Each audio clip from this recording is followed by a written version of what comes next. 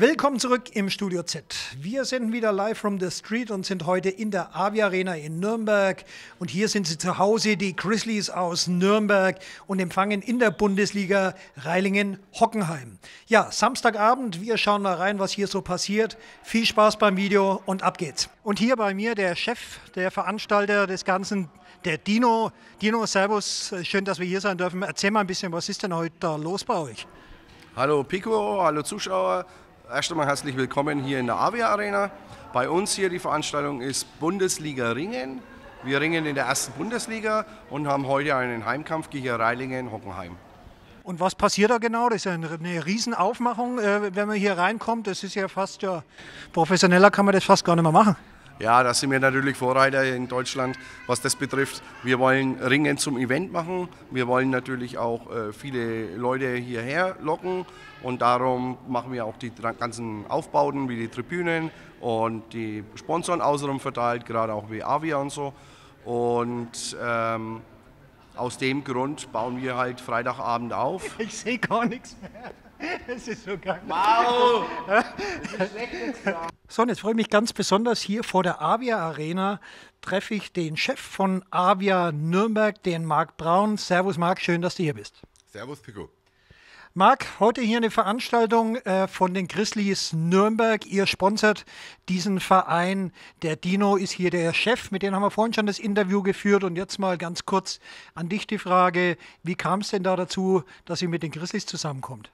Also wir sind seit 90 Jahren hier in der Region verankert ähm, und Sportsponsoring war schon immer ein Steckenpferd unserer Firma und mit den Grizzlies hier olympische Sportart, Traditionsverein in Nürnberg, da haben sie einfach Synergien ergeben. Ihr unterstützt ja neben den Grizzlies auch äh, mehrere äh, Sportvereine. Also Avia ist da sehr, sehr sozial auch unterwegs, also hilft da eben, wo ihr helfen könnt. Zum Beispiel auch beim ersten FC Nürnberg, den zählen wir natürlich jetzt nicht als kleinen Verein. Aber was macht er denn neben den Grizzlies und dem Club noch?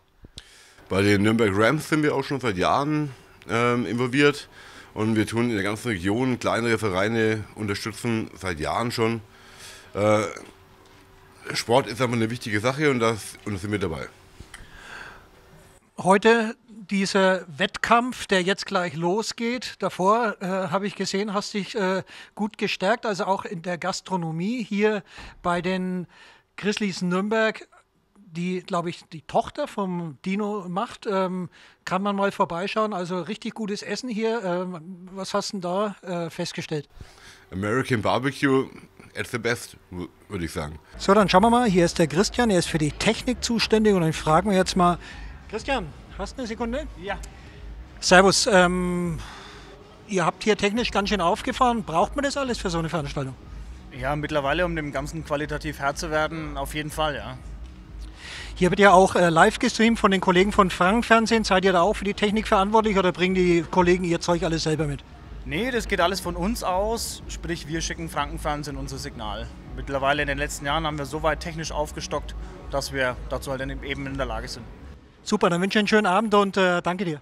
Danke, kein Problem. Und bei mir der Kollege von Frankenfernsehen, Philipp Waldmann. Philipp, Servus. Ähm, schön, dass wir hier sein dürfen. Sehr gerne. Hallo Pico. Ihr übertragt hier live, hat der Dino uns gerade verraten und das nicht nur heute, sondern äh, die ganze Saison über. Magst du uns ein bisschen was dazu erzählen? Ja, also für uns, wir haben ja schon eine jahrelange Kooperation mit den äh, Grizzlies und haben uns dann vor der Saison mal zusammengesetzt und haben gesagt, hey, was können wir für den Sport tun? Und haben wir gesagt, okay, ähm, wir wollen es einfach live ins Fernsehen bringen. Ringen ist ja eine Sportart, die nicht so im Fokus steht und wir haben gesagt, die Grizzlies machen hier einen super Job und wir übertragen jetzt tatsächlich fünf Heimkämpfe live bei uns auf Frankenfernsehen und Franken Plus. Ist für uns auch eine tolle Sache, eine Live-Sendung hier, toller Sport wird geboten. Ich glaube, die Verbindung zwischen den Partnern passt hier sehr gut. Wann kann man das, also live natürlich bei euch auf dem Sender sehen, aber gibt es da irgendwie dann auch nochmal so Beiträge, die dann eben nochmal zusammengeschnitten werden, zum Beispiel in der Sportkabine oder wo kann man das, wenn man jetzt das live nicht äh, anschauen kann, weil man die Zeit am Samstagabend vielleicht jetzt nicht findet, wo findet man das bei euch dann in der Mediathek oder bei euch bei Frankenfernsehen? Also zuerst würde ich jedem empfehlen, natürlich die Live-Sendung anzuschauen. Immer um 19.15 Uhr geht es bei uns los, bei jedem Heimkampf. Natürlich gibt es auch noch einen Nachbericht, äh, der bei uns dann entweder in Guten Abend Franken läuft. Äh, wir haben da eine eigene Ringer-Rubrik, wo wir wirklich den Fokus auf die Grizzlies legen. Ähm, die läuft dann immer unter der Woche. Wir haben Studiogäste bei uns in der Sportkabine und wollen einfach den Sport, und hier wird wirklich klasse Sport geliefert, einfach dem Publikum näher bringen, dass sie mal sehen, wie es hier abgeht. Und ich kann auch nur jedem empfehlen, einmal live in der Halle dabei zu sein, dann wird man definitiv ein äh, Ringer-Fan. Dann freuen wir uns heute gemeinsam auf dieses Event. Vielen, vielen Dank, Philipp, und einen schönen Abend. Sehr gerne.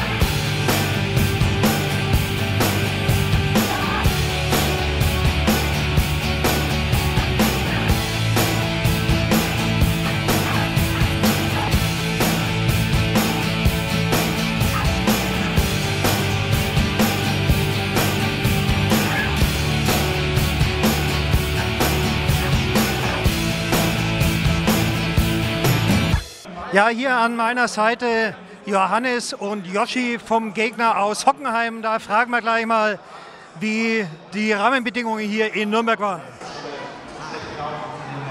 Servus, grüßt euch. Schön, äh, dass ihr kurz Zeit für mich habt. Wie waren die Rahmenbedingungen hier in Nürnberg? Wie hat es euch hier heute gefallen? Nürnberg ist immer gut zu kämpfen. Also für mich ist der Heimkampf gewesen. Ich kann mich nicht beschweren. Es wird gut organisiert. Die Stimmung ist, glaube ich, immer ganz gut. Also mir hat es gefallen, bis aufs Ergebnis natürlich bei meinem Kampf. Äh, ich bin das erste Mal in Nürnberg, aber ähm, ich habe sonst schon immer ein paar Videos gesehen und äh, die strengen sich auf jeden Fall an und die wird auf jeden Fall äh, einiges angeboten. Wie ist es so, wenn die Onkels, sage ich jetzt mal, bei jedem Wettkampf eigentlich dabei sind? Ist man da stolz? Wie ist das? Wie kommt es füreinander? Äh, ich freue mich über die Unterstützung auf jeden Fall. Also äh, ich habe nichts dagegen. Ihr seid ja beides Riesentalente, also richtig gute Ringer, das weiß man. Ähm, was steht als nächstes an? Was sind die nächsten Kämpfe für euch? Äh, auf jeden Fall nächste Woche ist wieder der nächste Bundesliga-Kampf. Und für mich ist jetzt turniermäßig in drei Wochen die U23 WM in Belgrad. Das heißt, nächste Hauptevent, sage ich mal. Da wünsche ich auf jeden Fall schon mal viel Erfolg. Wie schaut es bei dir aus? Äh, für dieses Jahr bin ich durch und äh, ich würde sagen, nächstes Jahr greife ich dann wieder an. Ich habe hier den Arek und den Raphael, die sind hier aus Berlin extra angereist. Da mal fragen, wie es da dazu kommt. Ja, wir haben unseren Neffen dabei, das ist der Joshua Morodion, der hat jetzt in der 98 Kilogramm Klasse, Klasse gegen den Johannes Meyer gerungen. Und da haben wir uns alle zu spontan, Mutter, mein Bruder, sprich auch der andere Onkel, äh, gedacht, wir kommen hier nach Nürnberg her, um einfach mal dieses tolle Event hier zu nutzen. Ist das ein tolles Event? Wie findest du die Veranstaltung? Wie ist es organisiert? Ja, ich glaube, da leite ich mal meinen Bruder weiter. Ich habe nicht so viele Vergleiche, aber es ist einfach super schön, weil es so nah ist. Also du bist ja direkt an den Sportlern dran und das macht schon echt viel Spaß. Arek, erzähl mal ein bisschen, äh, was macht die Veranstaltung hier, was gefällt dir hier besonders? Also die Stimmung ist super, man ist nah dran, man sieht die Sportler live und ich sag mal auch die ganze Organisation vorneweg, die Karten besorgen, das hat alles super geklappt. Auch äh, das ist wirklich wunderbar hier durchge. Auch 3G trifft hier gut zu und mit Maske jetzt fürs Interview eben runter. Ansonsten wird hier alles eingehalten. Und die Stimmung ist wirklich sehr gut in der Halle. Ist eine tolle Stimmung hier. Was nehmt ihr mit nach Berlin? Was äh, lernt ihr in Berlin hier, was wir in Bayern besser machen wie ihr? Kleiner Spaß am Rande. Das gute Essen hier in der Gegend. Und die Organisation funktioniert? Super, ein, einwandfrei. Also war eine gute Organisation, definitiv hier.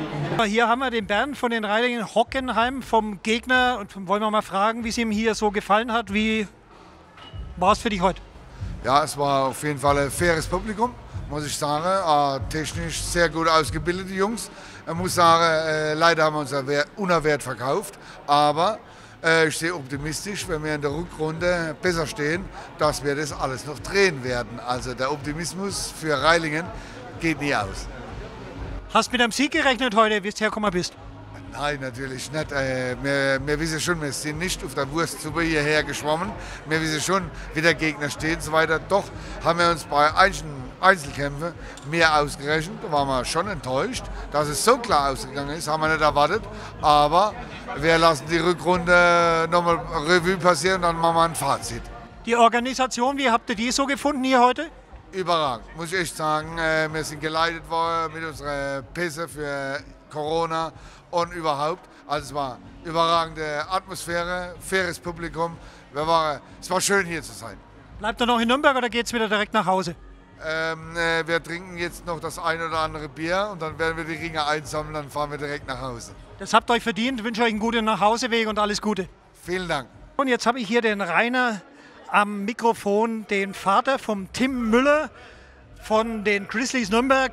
Wie war es denn, den Sohn heute gewinnen zu sehen? Ja, also ich bin immer stolz, wenn er gewinnt. Er macht auch wirklich äh, relativ gute Rundringe dieses, dieses Jahr. Aston Kampf zwar verloren, aber insgesamt fand ich es immer wieder spektakulär, wie er auftritt. Insgesamt, die ganze Mannschaft fand ich überhaupt heute na, sensationell, muss ich sagen. War ein total tolles Event, das hat auch der Gegner gesagt, auch so die Organisation hier, obwohl es ja eigentlich eine relativ überschaubare Halle ist. Es war so ein richtig geiler Samstagabend, oder? Ja, absolut. Also das Publikum hat dazugehört. Also äh, wirklich auch die Gästefans äh, waren sehr fair und, und, ist ja nicht immer so, aber ich fand schon eine richtig gute Atmosphäre. Also so langsam kommt der Spirit wieder in die Hallen, in, in den Sport.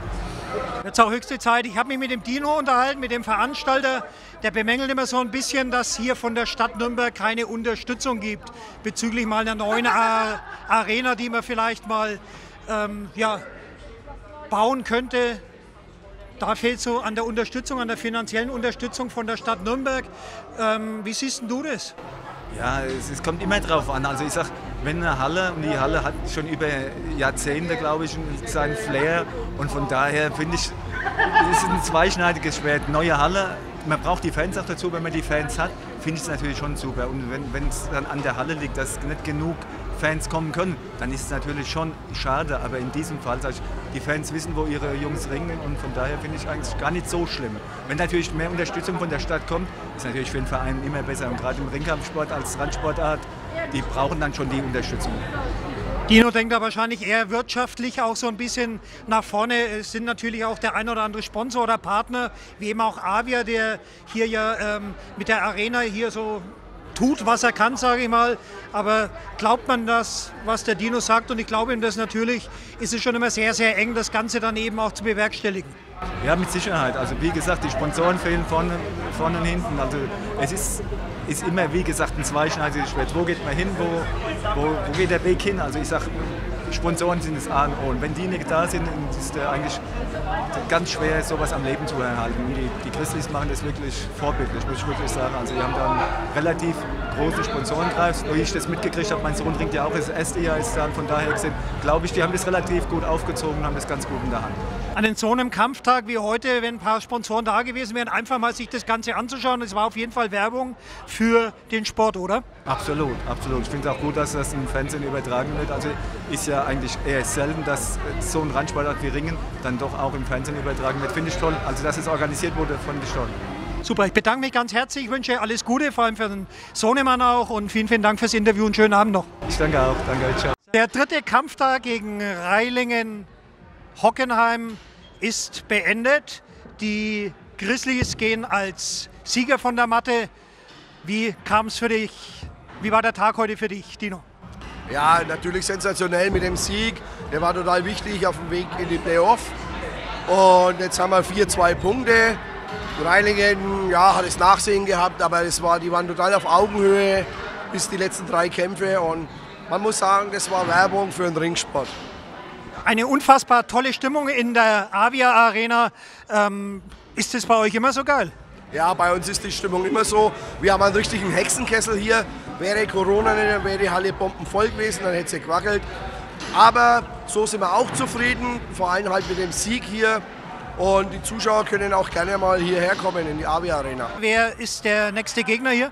Genau, am 30.10. empfangen wir hier Lichtenfels und Lichtenfels ist mit Burghausen dann die vierte Mannschaft, äh, wo die Plätze 1, 2, 3, 4 wahrscheinlich ausmachen werden in der Runde. Du sagst Hexen, Hexenkessel, nichts gegen die Arena hier, aber da geht doch einiges mehr. Also wenn man jetzt mal so schaut, äh, der erste FC Nürnberg war jetzt seit 15 Jahren auf ein neues Fußballstadion. Da ist die Stadt schläfrig bis zum geht nicht mehr, da gibt es keine Unterstützung. Wie ist denn das bei euch eigentlich? Ja, ich will seit sieben Jahren bauen. Äh, hier irgendwo in der Nähe am Bauplatz zu bringen von der Stadt Nürnberg hat man keine Chance. Jetzt wird Luftlinie 20 Meter, 30 Meter von hier eine Halle gebaut, auf dem Nachbarverein sein Grundstück. Die wollten auch wir bauen, aber die Stadt Nürnberg sagt nein, wir kriegen keine Versammlungsstätte und damit können wir auch keine Ringkämpfe zu Hause austragen in unserer eigenen Halle. Und von dem her ist es für uns uninteressant. Ich habe mich heute während des Kampfes mit dem Marc Braun von Avi unterhalten. Der war super begeistert auch von dem Abend heute. Und äh, das könnte ja auch ein Weg sein, dass man Sponsoren und Investoren findet, die äh, diesen äh, Sport unterstützen wollen und dann vielleicht äh, gemeinsam äh, eine eigene, eine bessere, eine neue Arena baut. Ja, genau. Jeder, der da zuschaut und Sponsor werden möchte oder, oder von uns einmal Gönner sein möchte, der soll einfach vorbeikommen hier in die Avia Arena und soll einmal zuschauen. Wir führen gerne Gespräche. Äh, das wäre natürlich sensationell, wenn sich da der ein oder andere finden würde und uns dann auch auf den Weg äh, über die Stadt Nürnberg äh, mit einem Grundstück dann die Halle zu realisieren. Du bist ein Wadenbeißer, du wirst dranbleiben, aber jetzt wird erstmal gefeiert. Es war ein geiler Abend. Ich bedanke mich ganz herzlich, dass wir dabei sein durften und äh, ja, feiert schön. Ja, ich sage auch noch einen schönen Abend und danke, dass ihr da wart. Und ich hoffe, ihr wart das letzte Mal hier. Schönen Abend und ciao. Danke dir, Servus.